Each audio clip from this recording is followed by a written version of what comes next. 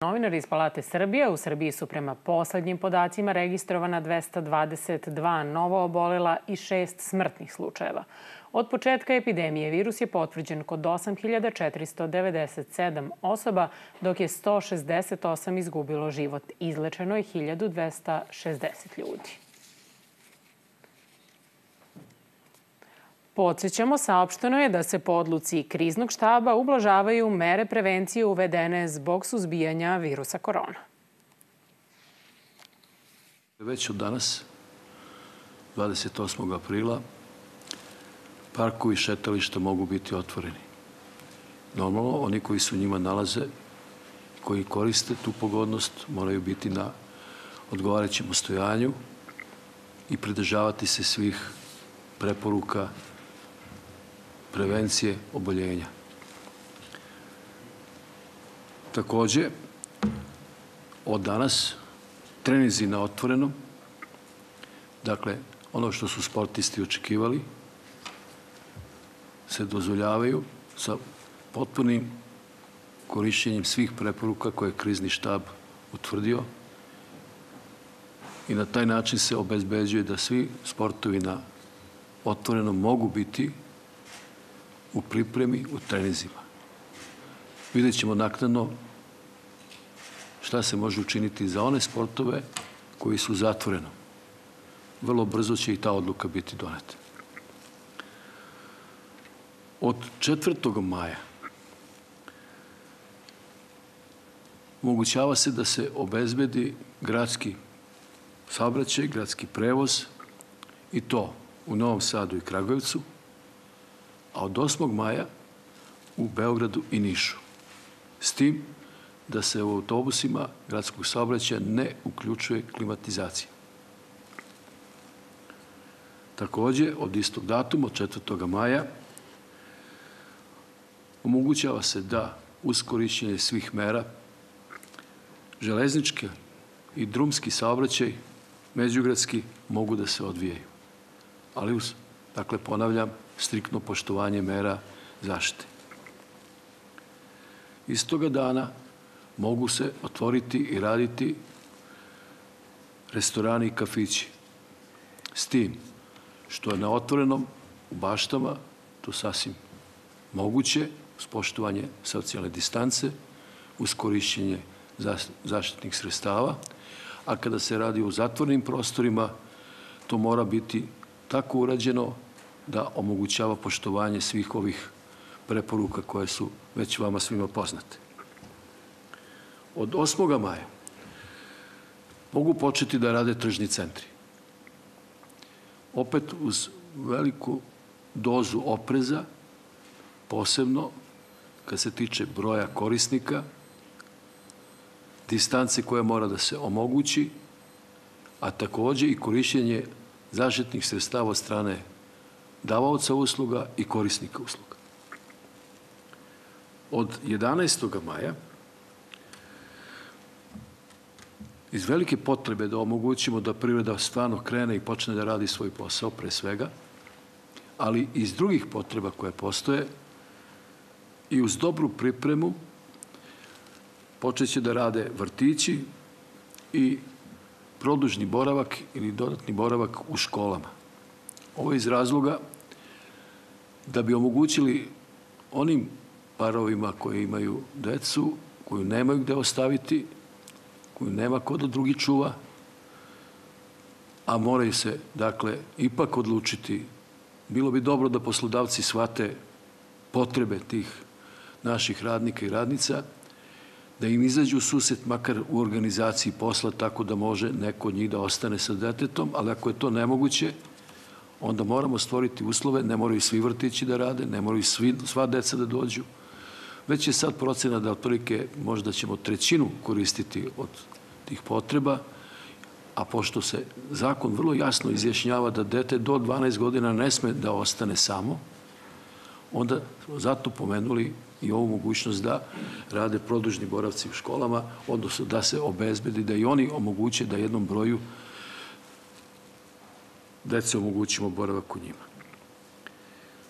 I od 18. maja avio prevoz će biti moguće odvijati se prema preporukama, verovatno, i evropskih svetskih agencija i AFE,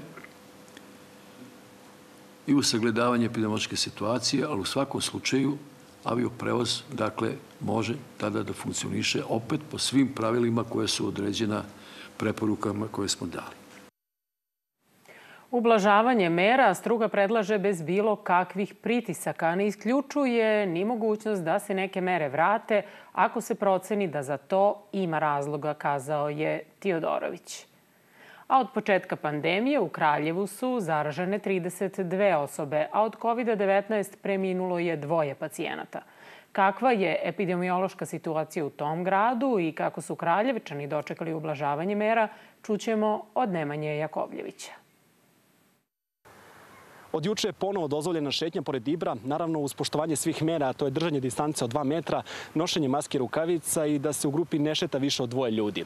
Kraljevčani su, čini se, to jedva dočekali, koriste lepo vreme. Na ulicama, ali i u frizerskim salonima i salonima lepote, koji od juče rade uz poštovanje epidemioloških mera, može se videti koliko ljudima nedostaje povratak u običajno stanje. Naime, u mnogim salonima termini su zauzeti i do desetak dana unapred.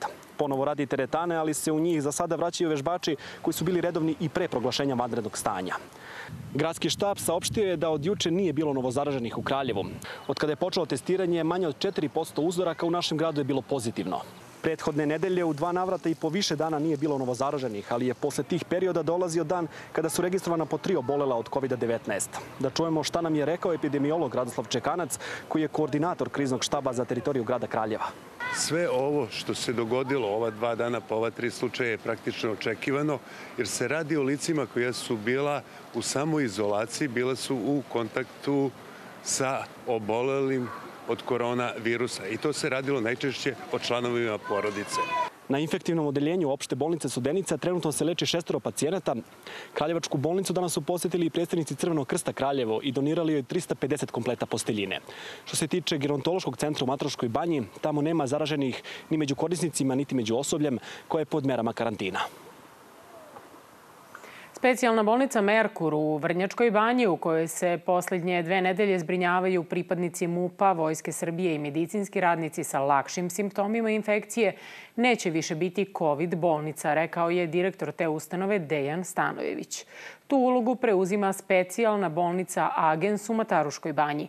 Tamo će biti premešteno i preostalih 30 pacijenata iz Merkura. I ja se nadam ako to bude stiglo da ćemo i zbog dobrih nalaza i zbog e, sve više većeg broja negativnih pacijenata e, do kraja nedelje do kraja nedelje najverovatnije doći do kompletno pražnjenja Merkura sa COVID pozitivnim pacijentima i to podrazumeva da kao što smo planirali sledeće nedelje dođe kompletno jedinica za dezinfekciju, da dezinfikujemo ceo Merkur i objekte okolo i ja sam optimista, očekujem 11. ili tamo 18. da počnemo da radimo.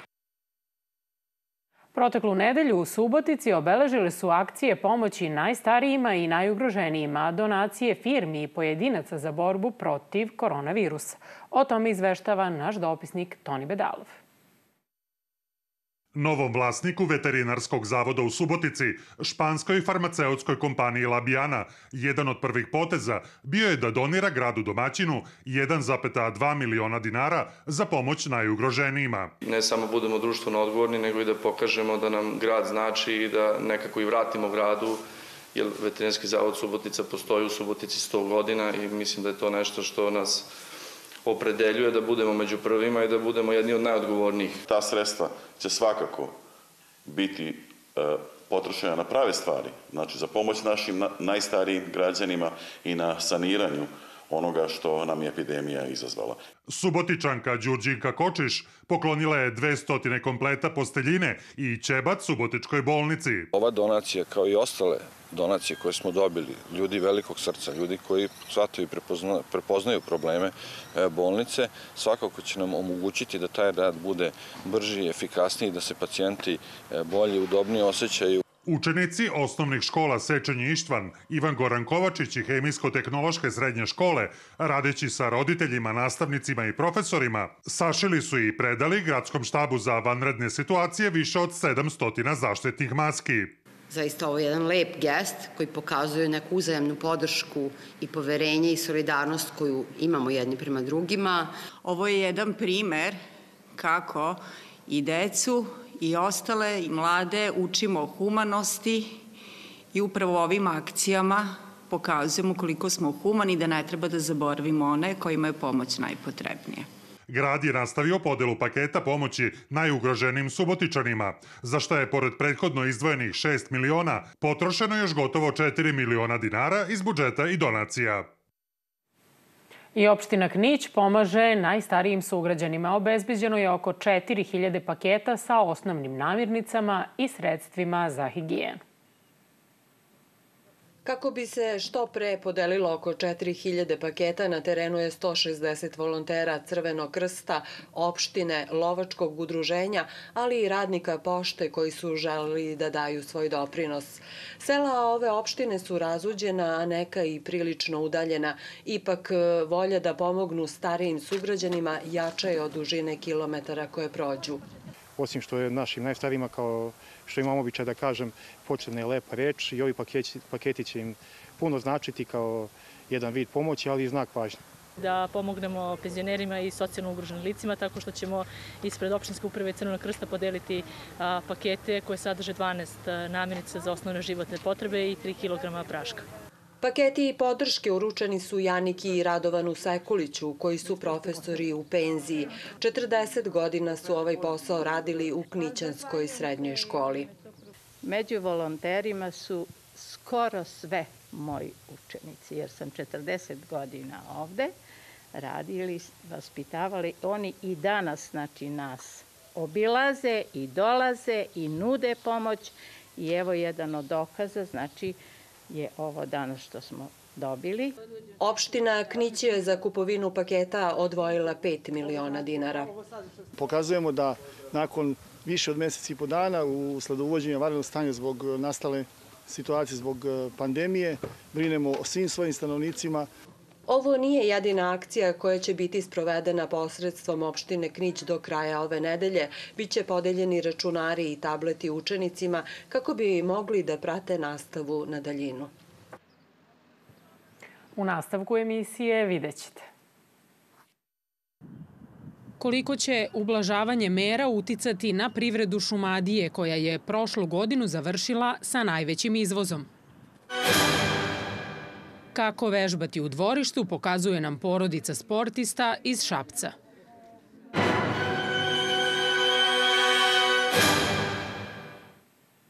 Nema privredne grane koja zbog pandemije ne trpi gubitke. Kako se ublažavanje mera za sprečavanje širenja zaraze uticati na privredu Šumadije, koja je prošlu godinu završila sa najvećim spoljnotrgovinskim suficitom, reći će nam Nevenka Đelić. I ovu godinu šumadijski privrednici počeli su ambiciozno. U prva dva meseca ostvaren je veći izvoz od 17% u odnosu na isti period lane, a samo iz Kragujevca on je veći čak za četvrtinu. Popuštanje mera širom je otvorilo vrata za ubrzanje ekonomije. A direktora Privredne komore Kragujevac Predraga Lučića pitamo da li su kompanije počele da rade i u kom kapacitetu. U ovom trenutku sve velike proizvodne kompanije, sem Fiat Chrysler automobila, dakle sve velike proizvodne kompanije sa teritorije Šumadijskog upravnog okruga delimično ili u potpunosti organizuju proizvodnju. Od 7. aprila ove godine pa do danas ove velike proizvodne kompanije su vratile na posao više od 3300 radnika. Pre svega to je izuzetno značajno imajući u vidu da su sve ove kompanije veliki izvoznici i kada one rade, to znači da mi izvozimo pre svega ka zemljama Evropske unije. Vi ste obišli kompaniju u Šumadiji. Da li se poštuju mere i jesu li radnici bezbedni? Od 7. aprila ove godine Regionalna privredna komora Kragovac je u saradnji sa Institutom za javno zdravlje Kragovac obišla sve velike proizvodne kompanije sa teritorije Šumadijskog upravnog okruga. To je zaista bila prilika da epidemiolozi Instituta za javno zdravlje Kragujevac upoznaju poslovodstva sa nekim ključnim predlozima, pre svega preporukama i merama koje treba primeniti kako bi se riziko zaražavanja radnim mestima sveo na minimum. U tom smislu zaista mogu da, da kažem da su poslodavci učinili sve kako bi pratili i ispunili sve sugestije, predloge i pre svega preporuke Instituta za javno zdravlje Kragujevac. Direktore, država je donala čitav paket mera za pomoć privredi u oporavku od pandemije COVID-19. Kako je interesovanje poslodavaca?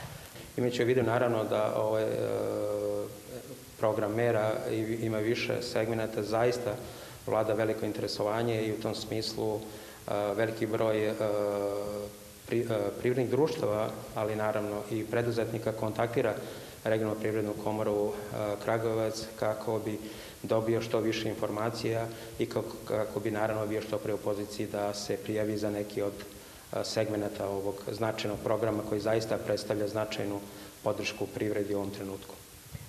Hvala vam na razgovoru. Dakle, u ovom trenutku najvažnije je privredu što prepostaviti na nogi i omogućiti da privredni rast i u 2020. bude što veći. Očigledno privrednici Šumadije imaju tržište, imaju proizvode, imaju ugovore i drugi kvartal ove godine nastavljaju u punom kapacitetu. I pored vanrednog stanja, u Leskovcu se radi na važnim saobraćajnicama kao i na izgradnji gradskog trga. Izvođači radova poštuju sve propisane mere zaštite radnika od koronavirusa. Nema predaha za putare i građevinske radnike u Leskovcu. Velike investicije započete pre vanrednog stanja skoro nesmanjenim intenzitetom realizuju se u proteklih meseci po dana – Izgradnja važne saobraćajnice na južnom ulazu u grad, takozvani Vlasotinački put, u dužini od 6,5 km i u punom jeku. Do probijanja roka, kažu izvođači, ne sme da dođe, iako je organizacija posla uslovljena merama borbe protiv koronavirusa. Starije radnike smo malo sklonili, evo tu su svi zaštitna oprema se koristi i sve to po propisima i, i vezano za ovaj virus i tako. E, dinamika radova, da li će se ispoštovati po ugovoru s obzirom na situaciju? Rok je 90 dana, mislim da ćemo ispoštovati i pre roka će biti završeno. To znači do kraja? Znači do kraja juna. Vrednost ove investicije koju finansiraju putevi Srbije je nešto više od 283 miliona dinara. Ovome treba dodati da grad Leskovac ulože značajna sredstva jer se uporedo gradi kanalizaciona i vodovodna mreža. Kada sve bude gotovo, ceo kraj dobit će sasvim novi savremeni izgled sa dva kružna toka i novom uličnom rasvetom. Želim da vam kažem da ćemo i pojedine privredne subjekte, kao što je MK i kao što je stočna pijaca i kvantaška pijaca, takođe sada završiti kanalizaciju u mrežu, imati sve uslove da kvalitetno i dobro rade svoj posao. Osim na ulazu u grad, radi se i u centru Leskovca.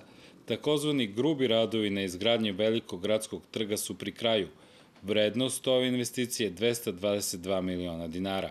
Očekuju nas radovi na izgradnji kanalizacijone mreže na ostatku trga, zatim ugradnja a, instala, a, odnosno vodovodne mreže i mreže a, osvetljenja, odnosno počeće i elektroradovi, takođe vrlo brzo krenuće radovi na izgradnji pozornice. Sa ublažavanjem mera vanrednog stanja u Leskočkoj lokalnoj samupravi očekuju da se intenziviraju radovi i na drugim važnim investicijama – Uskoro bi trebalo da počne asfaltiranje drugog dela Hisarske ulice koja Svetoilijsko groblje deli na dva dela, a očekuje se i početak radova na zaobilaznici, odnosno na bulevaru Nikole Pašića, jer je deo Amasa izvođačima već uplaćen.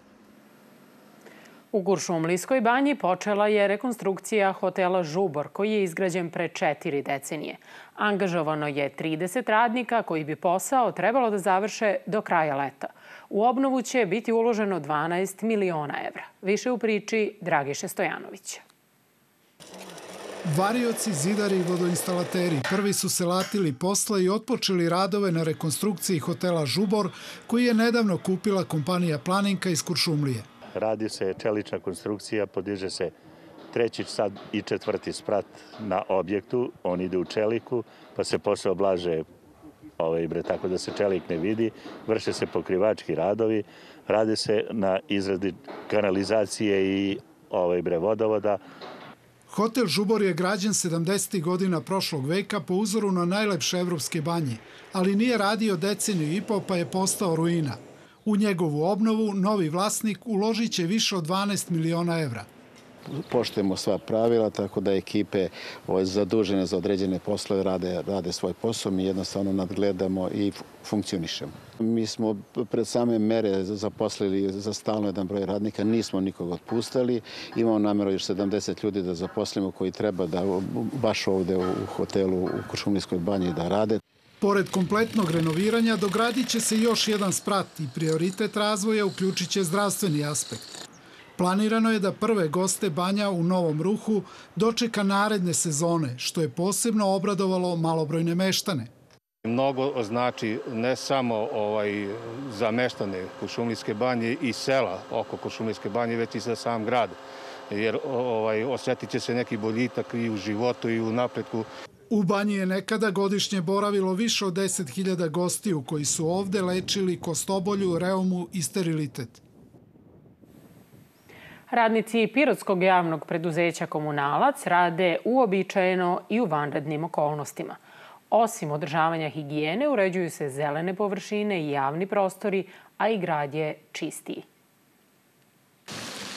Radnici zelenila ovih dana imaju najviše posla, ali je, kažu, u vanrednim okolnostima lakše održavati parkove i travnate površine jer nema mnogo ljudi. Šta je trenutno aktuelno? Pa košenje, sadjanje, cveće. Milovanke smo sadili, miozotis, sakane sadimo, ruže smo sadili, sve si, sve najnovije, naj... U javnom preduzeću Komunalac ističu da nesmetano realizuju sve planirane aktivnosti. Rade punim kapacitetom s obzirom na to da održavaju i uređuju velike javne površine u gradu. Takvih zelenih površina zajedno sa Keom, dakle imamo negde oko 200.000 metara kvadratnih, Bez keja samo ovi parkovi su negde oko 120.000 i veliki je to posao. Čak nam to u onim u onom periodu kada je zabranjeno kretanje omogućava da lakše radimo, dakle nema gužve, nema vozila, obeležavamo ulice, dakle horizontalnu signalizaciju radimo lakše. U nadležnosti ovog komunalnog preduzeća je i jedina zelena pijaca u Pirotu koja ponovo radi, uz poštovanje propisanih mera zaštite koje se odnose na održavanje higijene i dezinfekciju tog prostora. Online predavanja za osnovce i srednjoškolce biće završena do kraja maja, što znači da nema potrebe za masovnim povratkom u škole, već je plan da se one otvore u junu za polaganje male mature i popravljanje ocena, uz poštovanje svih mera zaštite, kaže ministar Mladen Šarčević. Ako epidemiološka situacija bude povoljna, mala matura verovatno biće 17., 18. i 19. juna, a studenti će imati priliku da se već od polovine maja vrate u studentske domove i nastave sa obavezama na fakultetima. Za 110 učenika škola na teritoriji Sečnja koji nemaju mogućnost internet konekcije, lokalna samouprava je kupila kartice za mobilne telefone koje će koristiti za praćanje nastave na daljinu. Kristijana Emilija Štefan i pored vanrednog stanja morala je povremeno da dolazi u srednju školu u Sečanj da bi preuzela fotokopirane lekcije – Nakon što je od opštine dobila mobilni internet, mnogi problemi su nestali. Morala sam da putujem 12 km, sada ovaj, je to mnogo bolje i e, sada imam pre svega više slobodnog vremena i za izradu maturskih radova i e, za učenje za prijemni. Kao i Kristijani i Jasmini Šajin iz Krajišnika za praćenje nastave dovoljan je mobilni telefon. Sadržaj pratim preko RTS planete, ali sam i u konstantnom uh, kontaktu sa svojim profesorima koji mi šalju materijal koji treba da uradim neke prezentacije, referate. Srednja škola u Sečnju školu je više od 210 gimnazijalaca, ekonomskih tehničara i zanimanja tehničke struke. Đaci su iz 10 naselja u opštini i različitog su socijalnog statusa. Imamo dosta učenika, korisnika socijalne pomoći, učenika i socijalno, da kažemo, siromašnih e, porodica, porodi, nepotpunih porodica i odmah su nastale, znači, e, te teškoće sa kojima oni žive već su došle do izražaja, a samim tim i nemogućnost da oni prate nastavu na daljinu. U lokalnoj samoupravi su reagovali čim su saznali za ove probleme, jer u suprotnom bar polovina ovih učenika ne bi imala priliku da čuje predavanja. Mi smo se opredelili dok god traje vanredno stanje, dok god je potreba ovaj, da se ide na školu na daljinu, ti će, ti će đaci imati te kartice dostupne i imaće besplatan internet 5 giga na nivou mesec dana. Cena internet paketa po jednom učeniku je 10.000 dinara mesečno i operater ga je prilagodio samo potrebama nastave. Narodna biblioteka Radoslav Nikčević u Jagodini sutra će u skladu s preporukama početi da radi sa korisnicima. Rad će biti organizovan samo na dečijem odeljenju uz obavezne maske i rukavice. Biće dozvoljen ulazak samo dva korisnika istovremeno, navodi se u saopštenju Jagodinske biblioteke. Takmičenja su odložena, ali sportisti i u uslovima vanrednog stanja održavaju formu. Iako su teretane otvorene, mnogi se odlučuju da i dalje vežbaju kod kuće. Članovi porodice Opanković iz Šapca u svom dvorištu napravili su improvizovan prostor za trening i poslali nam svoje snimke. Između dva drveta preskakanje lastiša je dobra motorička vežba, dok metalni kotur sa konopce može da pojača snagu. Kada se preskoče sve prepone u dvorištu, često na red dođu ogradice, žbun i cveće. Obzirom da treniram trčanje i pokušavam se prilagodim uslovima koje imam, radim skipove i vežbe preko prepona i nadam se da će to biti dovoljno da održim formu. Moja disciplina je bacanje kopije, ja sam u trenutnoj boljoj situaciji nego Simona. Ovde mogu da radim na trenažerima, takođe radim dosta preskoka prepona i skipove. Bliznakinje i Šapca su više struke šampionke Srbije na ekipnim takmičenjima u konkurenciji pionirki i mlađih juniorki. Ksenija je osma u Evropi, dok je pet minuta mlađa Simona, članica štafete koja je prošla godina oborila državni rekord. Žika Opanković im je otac i trener u Beogradskom atletskom klubu. Treniramo u uslovima našeg dvorišta, poštujemo odredbe o ograničenom kretanju, improvizujemo maksimalno, ali to nama nije neki ni poseban problem jer smo inače navikli na improvizaciju. Trudimo se da održimo opšti nivo fizičke kondicije, da unapredimo neke tehničke elemente i ne predajemo se. 17-godišnje Ksenija i Simona treniraju svakoga dana. Zbog ograničenog prostora rade što raznovrsnije vežbe i nestrpljivo čekaju nove izazove i takmičenja. Svetislav Pantić, nekadašnji muzički urednik lokalnog radija i Smedereva, od početka vanrednog stanja svakog vikenda svojim komšijama pušta muziku. Više decenijsko radno iskustvo na Radio Smederevu Svetislav je iskoristio kako bi otpopunio svoju muzičku kolekciju. Muziku za sve generacije i svih stilova često pušta na gradskim proslavama i po tome je poznat u gradu. Kako bi postakao dobro raspoloženje, svojim komšijama za vreme policijskog časa ispunjava muzičke želje. Meni je najveće zadovoljstvo uopšte nekom dati muziku i podeliti tu onu muziku koju, koju ja recimo volim da slušam, voli oni. Naravno, ono, dođemo do neke razmene, nešto što oni imaju, ono me oni podsjete na nešto što ja zaboravim, što recimo nisam slušao godinama. Ovakav vid razonode najviše odgovara starim komšijama. Kako kažu, pored šetnje i muzika im je lek. Mi uvek nešto nađemo, evo komšija nam tamo pusta muziku, izuzetno se zabavljamo. Pa znači, kako da ne, mislim sve je to to. Svaka, svako neki, neki lik gest znači nešto. Muzika uvek nam potrebna i uvek u svakom trenutku i kada ste tužni i radosni ili bilo šta vam se događa u životu.